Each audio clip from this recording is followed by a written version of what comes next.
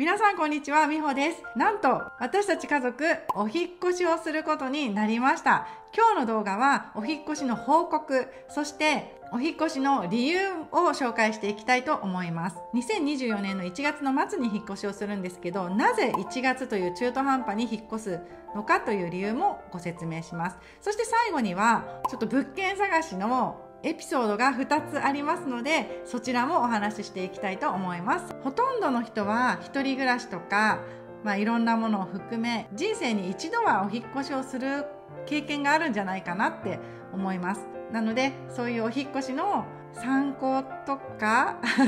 になれたら嬉しいなと思います。では最後までご覧ください。今このお家は91平米の 4LDK のお家です。そこに家族3人で暮らしています。私と高校3年生の長女中学1年生の次女がいます。もともとね2021年の5月に神奈川県の横浜市から同じ神奈川県だけど市外に引っ越しをすることになりました。ちょうどその時に長女が高校1年生次女が小学校5年生でした。長女が高校入学したので、まあ、横浜からよりももうちょっともうちょっと通いやすい場所に引っ越しをしたんですね。その時も今が2024年の1月なのでちょうどね、えっと、2年と8ヶ月ここのお家に暮らしていることになります。引っ越しの理由なんですけどもともとここのお家に引っ越してきた時は4人で暮らしていたんですが私が2023年の3月に離婚をしてまず4人暮らしから3人暮らしになりました。でね 4LDK91 平米に3人で暮らしているってもうね結構広いなってお部屋を持て余しているなっていう感じはしていたんですけどなんと今度今年2024年の4月か5月ぐらいに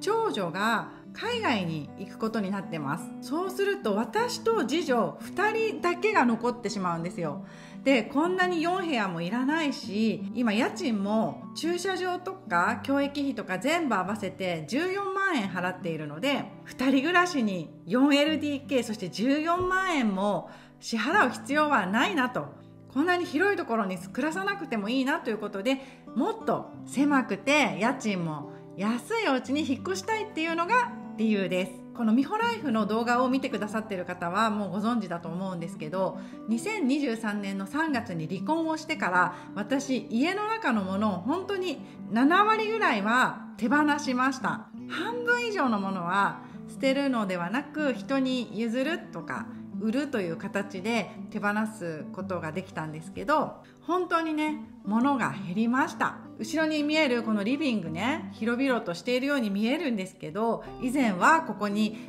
机があったりパソコンがあったりあとソファーとかいろいろ置いてあって結構物が多かったと思うんですけどだいぶ減らしたのでよしもっと狭い家に引っ越せばさらに物を減らせるんじゃないかっていうもう少し身軽に暮らしていきたいなっていう気持ちがあって去年から少しずつ物件探しはしていたんですけど本格的に始めたのは去年の12月からです。引っ越し先なんですけど関東圏ではありますが県外になります。なので次女は転校することになります。で次女の転校する時の気持ちとか次女の考えについてはミミチャンネルでご報告しているのでぜひミミチャンネルをご覧ください。ということで理由は家族が減ったことと家賃を下げたいっていうことですね。でねじゃあ今度はなぜ3月とか区切りのいい時ではなくってこの1月に引っ越しや転校をするのかっていうことなんですけどそれも家族で相談して決めました。一番気になるのが次女の転校時期だと思うんですけど、まあ、それも次女と話して全然いつでもいいよっていうことだったのでわざわざ3月とか家賃も高くなったり引っ越し代も高高くなったりっていう時期に、まあ、しなくてもいいということだったのでこの1月っていう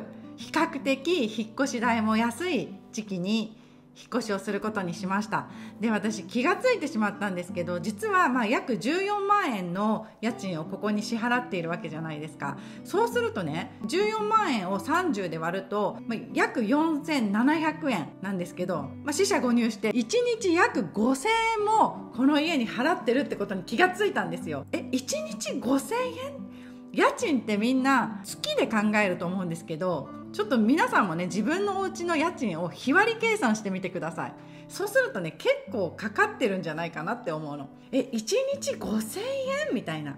以前あの12月にタイに家族3人で旅行に行ったんですけどその時なんてあの1泊3人で2500円のホテルとか泊まってるんですよ。だから1日5000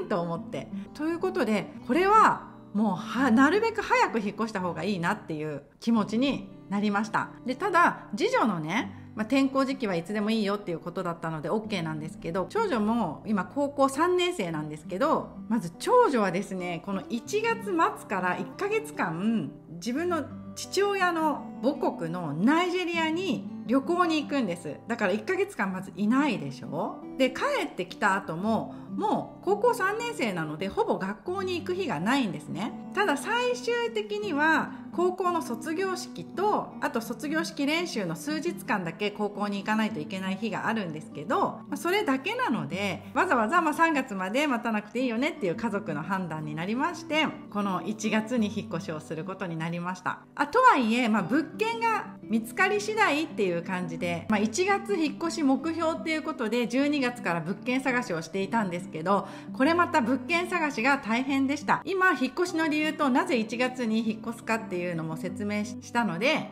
次は物件探しについて説明しますね。私が探している条件が非常に厳しいものがあってなかなかいい物件がなかったんです。条件としてはこんな条件を挙げていました。2階以上でしょ？私と次女の部屋にそれぞれ収納があること。あと都市ガス追い炊きができるそしてスーパーが近い。あと洗濯機置き場がある南向き駐車場付き駅から徒歩20分以内そして東京まで、まあ、渋谷あたりぐらいまで1時間ぐらいで行ける。そして6万円以下で探していたんですね。まあ本当にねまあない。本当にないです。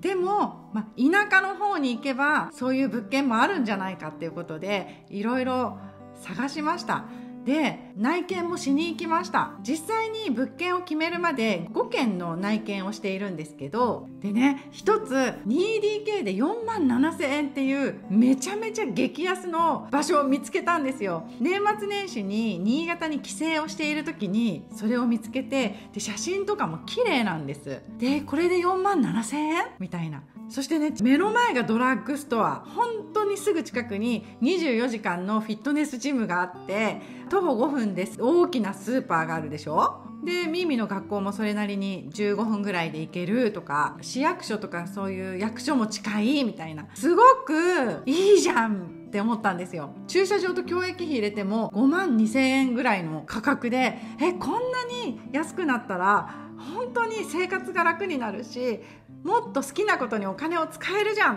って思っても興奮ですよね。もうこで電話をして内見をしたいって言った時ももう私そこに本当に暮らしたいぐらい気に入ってるんですって言って。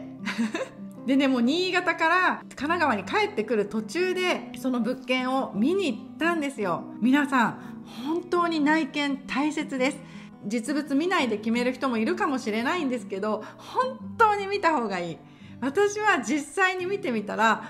ぱりさすがにここには住めないなって思いました。写真は綺麗に撮られてるんです。でお風呂もなんか綺麗な角度で撮られていたんですけど中を覗いたらめちゃめちゃ汚いの。お風呂とか水回りって大切じゃないですか。私一日の終わりに疲れを癒す時にここのお風呂で癒されるかなって考えたらあやっぱり難しいなって思ったの。でも安いしこういうのを我慢するべきなのかなとか我慢したらもっと他のことにお金を使えるのかなとかすごい内見しながら迷ったんですけどやっぱりそれはさすがに難しいなって思ってそこはなしになりました。その時にもう物件探しに本当に疲れてもう安く探そうとしてるから本当にないし本当に疲れて電車に乗って帰ってくる時に私賃貸物件探し疲れたって Google で検索したんです。そしたら賃貸物件探しで疲れた時はここを見直しましょうっていうのがあってでその中に引っ越しの目的を考えるっていうのがあったんです。で私としては引っ越しの目的はまあ節約家賃を下げたいっていうのもあったんですけどやっぱり家で生活が心地よくてしやすいっていうのも大切だなっていうのを思い出しました。例えば外にお仕事に出ててもうお家は寝寝るだけの場所とかだったらまだわかるんですけど私はとにかく一日中家にいるのでやっぱり家の中が癒される場所じゃないといけないなって思ったんです。でそれもね、まあ、毎回毎回内見をすると写真を撮ったりビデオを撮ったりして次女に見せていろいろどうする？なんていう話をするんですけどやっぱり多少高くなってもまあまあ綺麗なところに暮らしたいよねっていうことになりまして6万円で探してたのをやめて7万円以内っていう風に探し始めました。そしたらまあ結構やっぱり1万円増やしたら結構幅が広がってその中でまあ、気に入った物件を今回見つけました。でその今回の物件の決め手になったのは家賃と教育費と駐車場合わせて7万円以下っていうのとあとはもうスーパーに近いということですね。まあ、新しいお家についてはまた YouTube でミーミチャンネルとミホライフそれぞれで紹介していくと思いますので本当にねそれは楽しみにしていてください。物件探しのストーリーについてはもう一つねお話ししたいことがあるので紹介させてください。えっとですねある時1日で3軒のお家を内見した日があったんですね。でこれは私と次女2人で一緒に見て回ったんですけどまず最初に結構家賃が安い古めの物件に見に行きました。そしたらやっぱりお風呂がカビが生えてたりとか壁が薄かったりとかもう天井が低かったりとかまあいろいろね古いなーっていう感じのお家をね2軒見たんです、まあ、そこはやっぱりちょっと水回り的にちょっと不便だなみたいなところがあってここには決めずることができなくて最後にねもう一個ね違う不動産屋さんに行ってこの辺でいいお家ありませんか？なんて言ってダメ元で飛び込みで入ったんですね。そしたら、まあ、1軒都市ガスのお家ありますよって言ってそこは、まあ、駐車場と教育費込みで6万8000円で 3DK のお家だったんです。ただもう見に行った時にすごい暗くてランタンみたいなのを持って家の中を内見するっていう感じになっちゃったんです。でももう県外だからまた見に来るっていうのがちょっと大変だなっていうことで暗くてもいいので今すぐ見たいっていうことで案内してもらいました。そこは鉄骨のアパートで結構作りがしっかりしてて最初に見た2軒よりだいぶ良かったんですね。レベルが。次女はこのお家の中だったらここがうちの部屋かなみたいなところを勝手に決めてあここに住みたいみたいな。うちもここに暮らしたいみたいな感じになっちゃったんですよ。でも私としてはなんかうんみたいななんかちょっとモヤモヤしてまあ別にここでもいいんだけどなんかもやつくなみたいな感じであ絶対ここに暮らしたいみたいな気持ちにはならなかったんですね。でそこにエアコンが全部ついてたんですよ。ただそのエアコンを見たらすっごく古かったの一つだけちょっと年式見たら2010年のものがついていてでもそれよりもさらに古そうなでもタバコのヤニなのか分かんないけどもすごい黄色くなったもう古いエアコンがついてる部屋もあってで私すっごい自分が今いいエアコン使ってるわけですよ自分的には。であのアプリで操作して遠隔操作もできるから暑い日は外からエアコンつけることもできるしっていう風にやってるからすごく快適なんです。アレクサを使ってエアコンをつけたり消したりすることもできるしそんな風にね快適に暮らしているのにそんなにめちゃめちゃ古いエアコンがついてるとそういうのもできないんだろうなって思ったし実際暮らしてみてこんなに古くてこんなに黄色い屋根がついてるんだからもう臭いんじゃないかなっていう心配が出てきてしまったんですね。とはいえ大家さんに言えば外してくれるかなって思ったんです。もう新しいエアコンつけるのは私自分持ちでやるから古いのだけ外してほしいなって思ったんですね。まあ運が良ければもうそんな14年前のものだし他のももっと古そうだったのでいい大家さんだったら取り替えてくれたりしてみたいな期待もあったんですね。もうエアコンのことは気になりながらも申し込みをすることにしてその時点ではまだ契約書なんかは交わしてなくてまあ、審査が通ったっていうところまでだったんですけど契約書を交わす前にまず大家さんにエアコンを取り外してほしいっていう交渉をしました。そしたら大家さんが取り外すことはできません。もし取り外してエアコンを変えたいんだったら自分でまずその家のエアコンを3台取り外して自分のお金で取り付けてください。で取り付けた後は万が一壊れたら自分で直してください。そんな風に言われたんです。であそうかと思って。それでも私あの汚いエアコン使うの嫌だったのでじゃあ自分で取り外してつけようかなと思っていろいろ金額とかを調べたり電気関係の友達に聞いたりとかしたんです。そしたら不動産屋さんがあもしかしたら不動産屋さんの知り合いの電気屋さんであのエアコンを無料で取り外してくれるかもしれないっていう話が出てきたんですね。だからお願いしますって言ったの。電気屋さんってさエアコンの部品とかそういうのを回収したいから、まあ、無料で取り外しだけしてくれる人とかもいるわけなんですよ。だけどその電気屋さんが見に行った結果配管が全部壁の中に入っているタイプで外に出てないんですよ。だから結構工事が大変っていうことでその電気屋さんやっぱりできませんってなったんですね。で私もじゃあ配管が壁の中を通ってるエアコンをこう3台取り替える費用とかちょっと調べてたら結構かかるんですよ。だからああどうしようかなってみーみーはその家に暮らしたがってたけどやっぱりちょっと難しいなっていうことで、まあ、申し込みまではしたんですけどやっぱりその家は暮らさないことにしましたって言ったんです。で大家さんにもお断りしてもらいました。でその後にまたいろいろ物件探しをして今今度暮らすっていう家を見つけてそこに申し込むぞっていう時に最初に住もうとしてた家の不動産屋さんから連絡が来てなんか大家さんが撤去費用をなんか10万円ぐらいで安く撤去するからどうですかって言われたんです。でももう決まってたからいやーもうちょっと他の場所に決めようと思っても見つけちゃったんで今回は結構ですって言って断ったんです。でまたこっちを申し込んで審査も通りました。そしたらまたそっちの不動産屋さんから大家さんから伝言なんですけどって連絡が来てあの